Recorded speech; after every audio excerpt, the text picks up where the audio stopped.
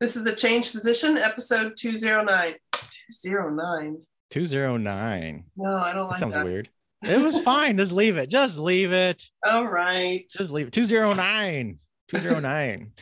anyway, folks, this is episode 209 of the Changed Physician podcast. Thank you for joining us today. I'm your host, Dr. Kevin Cuccaro, with my Amaze Balls. I haven't used that term enough lately. Amaze Mhm. Balls co host, Dr. Melissa Cady. Dr. Cady, how are you? Good. Just clearing my COVID throat. Clearing your COVID throat. So, we've had an episode where we talked about our experiences with COVID, and hopefully, you guys have either had positive experiences as much as they can be. Um, and if you have or have not, go and listen to that because it, it can be can deal derail your life rather substantially Very quickly. uh, very quickly. Um, anyway, but for this particular episode, so, so if you guys don't know, like Melissa and I sometimes will just sit here and talk, and we've been talking for almost an hour. Um, and I'm always kind of wondering, like, maybe we should record those conversations, except for the fact, and maybe I mean maybe this is the reasons that we should record them because there's we say some things in those particular episodes that are um that can be quite controversial.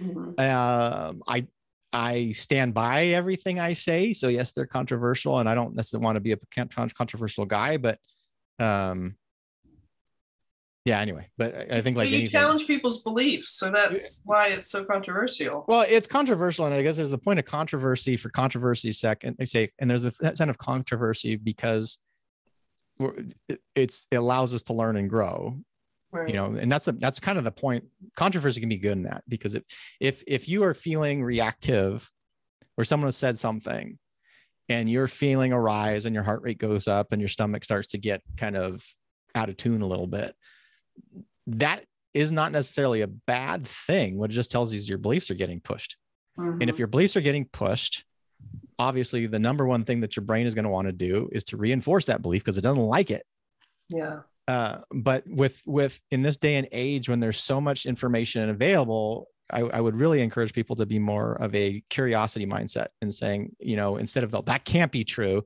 in fact on my talks i this is like an introduction i always give in my talks now is that instead of ending things with a statement like oh dr carl you said that you're a complete and utter idiot period or dr Cady i can't believe you said that. You're the stupidest doctor ever period is if you end it with a question mark, what that allows you to do is then to start kind of proceeding and massaging and actually be willing to kind of revise your beliefs. So instead, it becomes Dr. Cuccaro, you're the dumbest, stupidest doctor I've ever met in my life. Is that true? Peer, you know, question mark here. Or Dr. Cady, have you, I can't believe you said something so stupid. Is that really that stupid? Question mark. Then we can have just uh, have this really meaningful discussion on things that are actual that that are meaningful to existence. You know, that's the point of controversy in a lot of things when when we're afraid to be controversial we're really becoming static in our growth in lives and I, I one of the things about this day and age that we're in with polarization is i think we we it doesn't allow us to grow Mhm. so I, this is something beyond what as usual what we were talking about Yeah. but but what are your experiences when it comes to the beliefs and controversy and saying things or or even the fear that you have about publishing things because we've been doing this for a long time both together as well as independently on not on topics that are very difficult Mhm. so what are your opinions kind of regarding controversy and saying things in the interwebs and things Well, I'm just going to put this out there. I tend to not, um, you can ask my husband. I'm, I'm going to go out, go out on a limb and be vulnerable and say this, but I'm, I'm somebody that is, uh, my husband calls me a pacifist at times because I don't like controversy, not in the way that, um, unwilling to learn. So the, the luckily for me, despite wanting to not have confrontation, I'm very curious. So I like to, um, I was just thinking about saying offering the 25th, meaning the 25th letter of the alphabet. Why? so instead of pleading the fifth, I'm going to offer the 25th and ask why.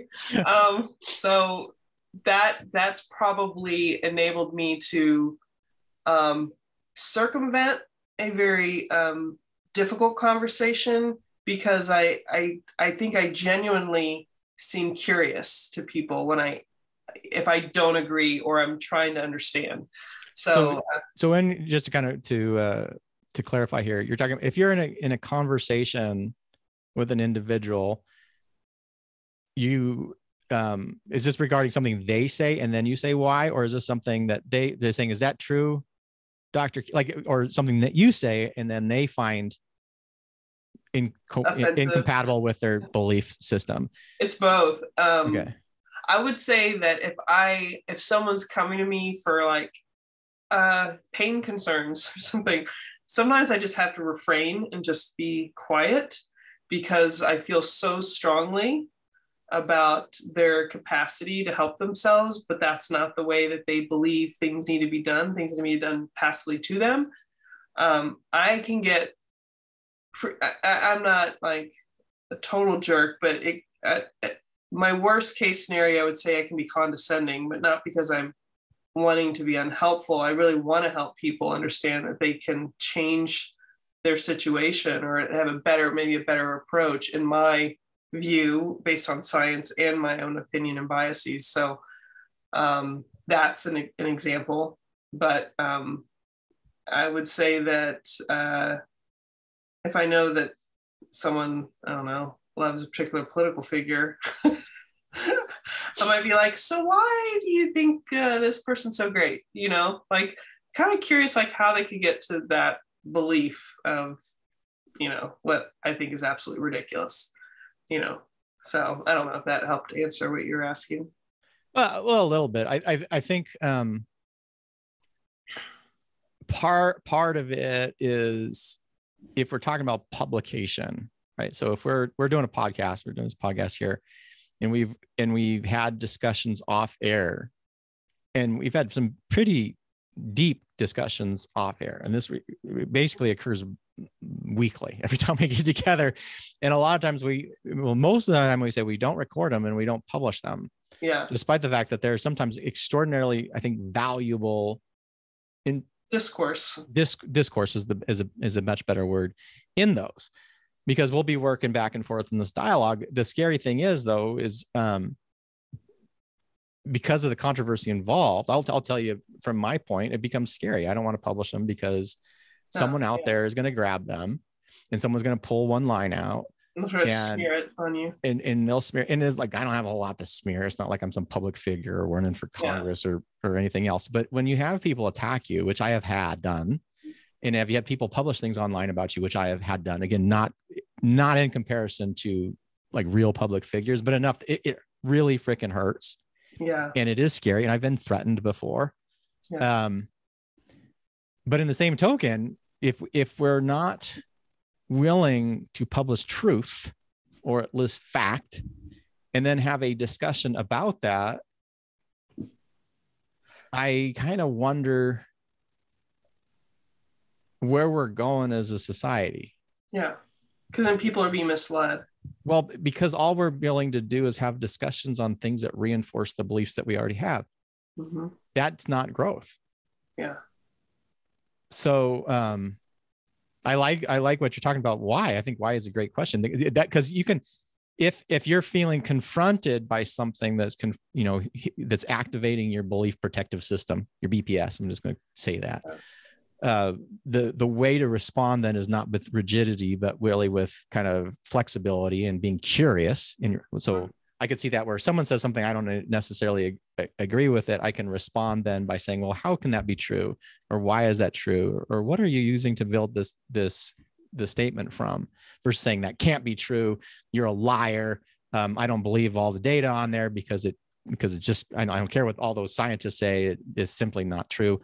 Um, but then on the flip side then being the publisher which is which is kind of where my question was coming from when you're the publisher of information or you're the one making the statement in front and now you have the horde or mob or audience in front of you Yeah. being able to respond in such a way where you also can be a little bit more flexible and rather than rigid and and say well well what are you basing that on or why why would you say that such a such the thing or you know, that kind of curiosity i think there is some i think it's hard i think all of it's hard oh, but Oh, I think that can be a very advantageous way because if you're responding in curiosity and it is not condescending curiosity, but but actually meaningful curiosity, well, trying to understand where they're coming from, that I think it could be very potent. I just think in this day and age with the internet, it's incredibly difficult to have that kind of dialogue anymore. Yeah. Well, I would I would say this is applicable to many situations of like a physician and a patient um, because they're coming in with their preconceived notions based on what they were looking and researching on the internet.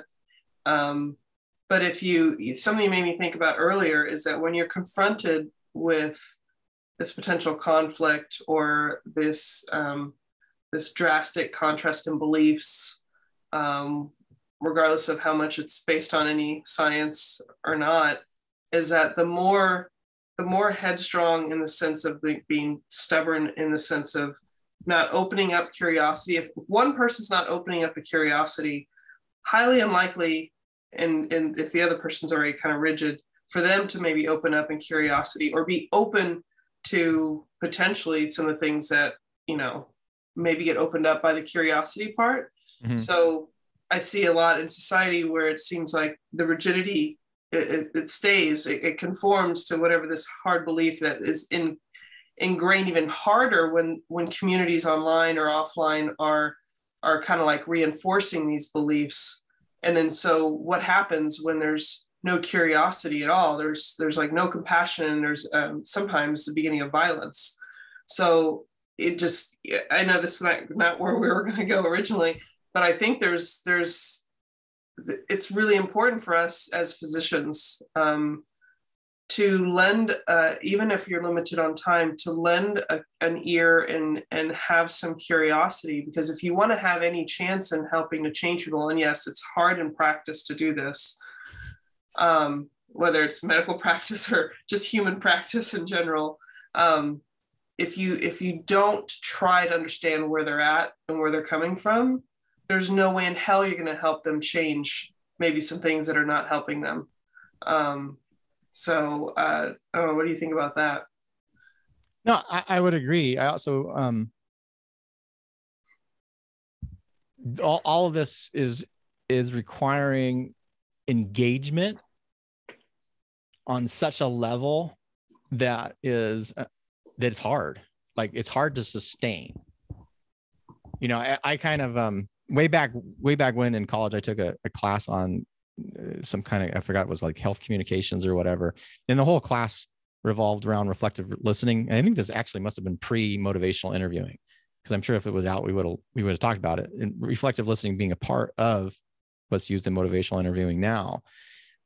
And reflective listening listening is all about like just being very open and and being uh, asking open-ended questions and reflecting back what they say in such a way that they're that they're talking that the person is actually talking more and more and more and and it can lead to some really powerful this well listening moments because you're really really all about listening and learning from the other person but it was freaking exhausting yeah. and and that's the part that that we we almost in some such some ways when it comes to that doctor patient relationship in the day-to-day clinic we we want to have every single encounter be as engaged as we and present as we possibly can be yeah. but but how do you do that hmm. when when you're seeing more and more patients every day if you have like if you're seeing 20 plus patients a day that by itself I'm not exactly sure if it's possible. Um, it's certainly extraordinarily difficult and draining. If you're seeing 30 plus patients a day or more, there's no way. I, I, I just simply do not see how you can be so engaged unless you've been so practicing it, it comes effortlessly to you because that behavior is so engaged, in which case maybe it does. But because that engaged listening and being curious and having this dialogue around people's belief patterns or and this is so important to medicine because people come in saying they want something because it's been advertised on TV or something they've told them yeah. that is simply not in line with what the evidence and data says. And I, and the default is generally just to go through with it because yeah. that's easier than actually having these meaningful dialogues. And, and people, you know, there's all these you know uh, uh, medical journals that oh they're doing this and the, people are prescribing uh, antibiotics when it's a viral infection. And it's like, yeah, they shouldn't be, but it gets exhausting trying to do the right thing all the time. and particularly when people are so un, people are so you know these belief patterns are so fixed i guess this is a long way to say is this is such a big deal effective yeah. communication and it's so important in medicine but if you can't do it all the time i'm going to give you the benefit of the doubt because it's so exhausting you simply you, you there's no human that can sustain the this degree of curiosity and engagement and passion. active listening and passion all the time. You can't do it. Yeah. Yeah. And then it's the, um, the reinforcement at times because it's so hard to stay engaged in that capacity. Uh, the reinforcement is that the patient's getting what they want when it's maybe not what they need or what they should be getting, but yet they're happier with the physician because they're getting what they think they need. Like it's this crazy loop it, it's it's a horrible loop. Like I, there was a guy who got, I think he lost his medical license, a neurosurgeon in Oregon, who was um, horrendous. They were not as bad as the guy in Texas that was killing all the Doctor Death or whatever. Oh God. But this guy was over operating on people. Like we're talking operations after operations doing an you know one cervical acdf and then six months later doing another one or extending i mean like absolutely absurd. And uh and when i was a little bit more um masochistic, uh, masochistic, really kind of killing myself. I, I would get these articles and I would go and then I would like read the comments and the comments, man. Oh, Doctor So and So, so great, and Doctor, I can't believe that this is a witch hunt for Doctor So and So and So, and he did my first five fusions and blah blah blah. He's the only person who listened to me, and I'm like, and he just he's he's crippling you. I mean, that, that's a that's.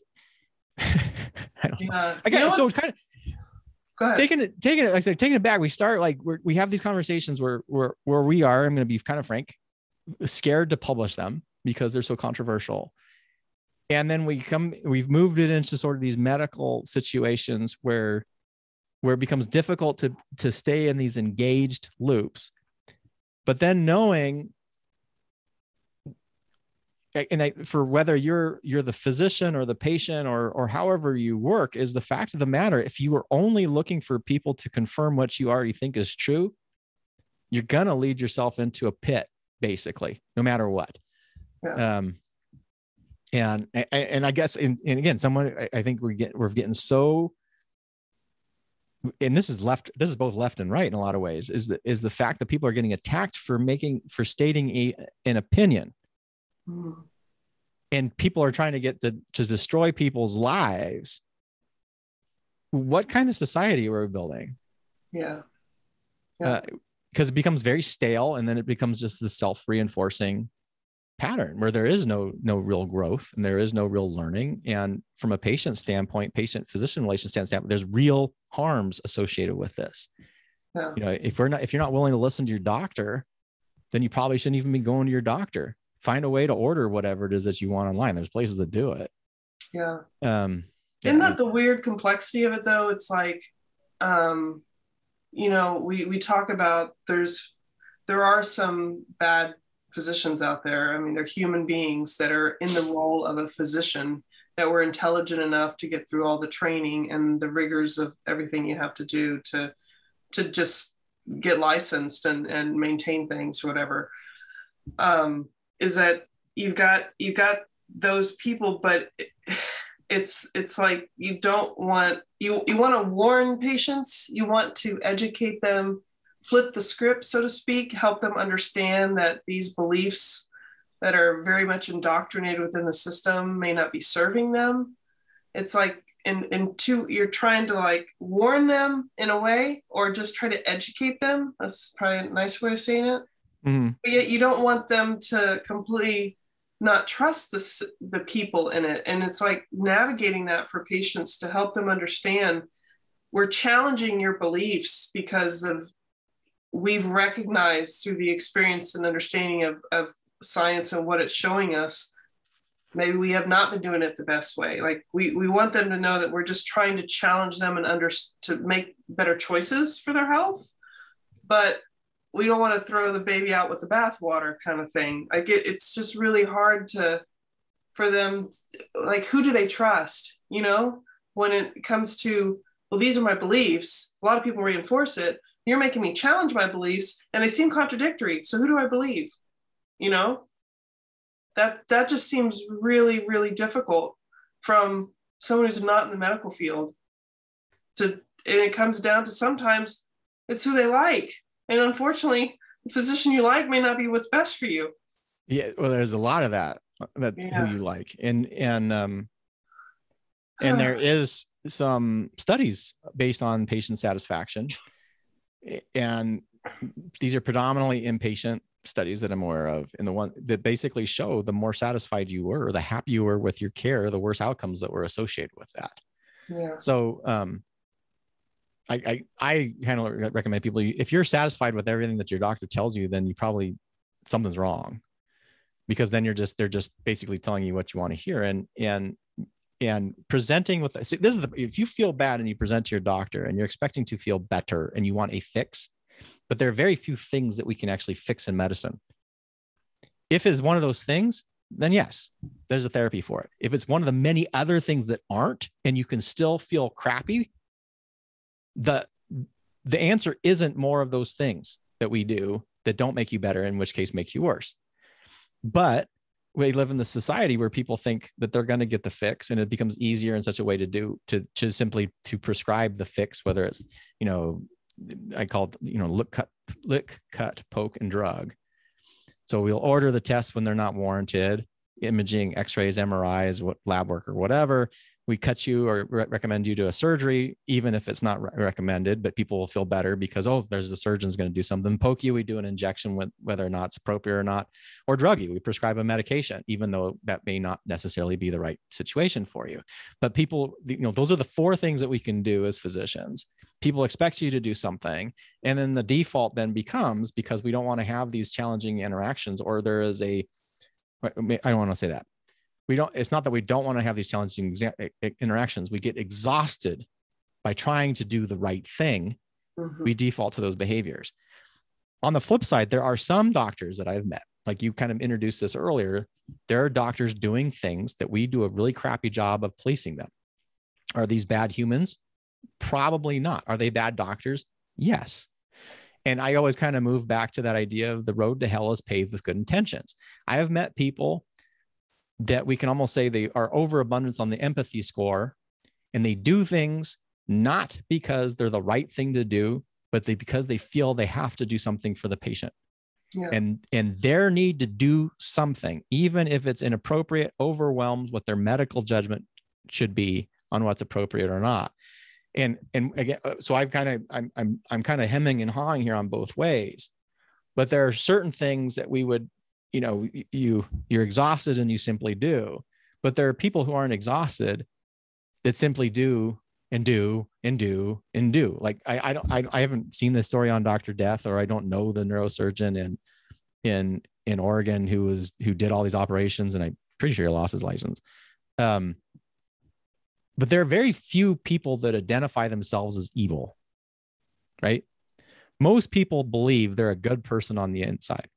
Mm-hmm and I and I think a lot of this behavior is driven by people thinking that they're doing the right thing, or I should say they're doing the doing the thing that they believe is the right thing to do in this situation, even though that they know basically all the evidence says otherwise.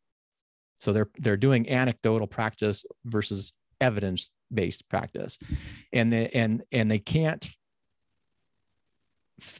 having someone dissatisfied to them hurts more than doing the wrong thing on somebody and having a satisfied person come out of it. Hmm. And it, it, it's um and I still this I think this keeps reflecting back to this idea though that if if we're not willing to have converse meaningful conversations that challenge underlying beliefs not and we're not trying to be jerks about any of this stuff but you know having those conversations and as a receiver and involved in that being able to receive this information that challenges your confirm your your biases and your internal beliefs that we if we can't do that in a respectful way um i think it's very harmful to society. Certainly in the medical system is and we have abundance of information on how that harms people. Yeah. But, yeah. Um i just brought up another topic um i'll just refrain from but um you know, I do think. I mean, you said most people are not bad humans, but I, there are a couple bad humans that I think we have to. Like Dr. Death does. Uh, I don't know that person personally, um, but from the data that I've heard and understood to be true, um, you, there's always going to be a bad person occasionally. But I would I would agree with you that most people are good people or feel like they're good people that are making poor choices or feel like they're better um, better off just doing what the patient wants versus you know what really the patient needs or doesn't need. So.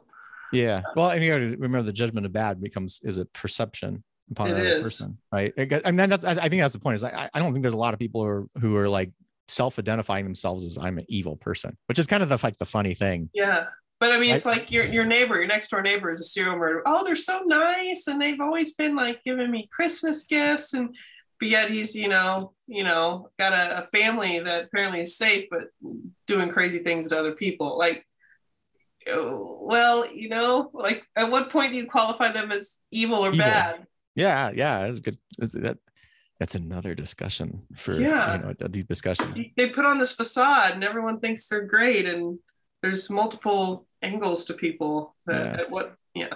Anyway they, they can be tainted so i guess lo- long and short of this since we've been talking about this for a while is um i'm gonna, try to summarize this.